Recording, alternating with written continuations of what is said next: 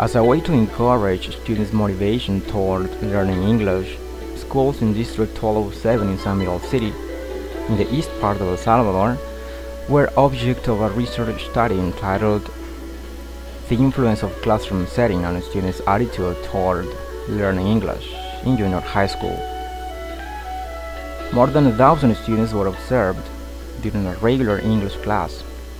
Then the classroom setting was changed into a more enticing one. The results were amazing. When attending classes in a well set up environment, students were more willing to participate in the class. They showed an active behavior, and even the teachers got carried away and showed a more enthusiastic teaching methodology. Thank you all for learning part of the teaching strategies.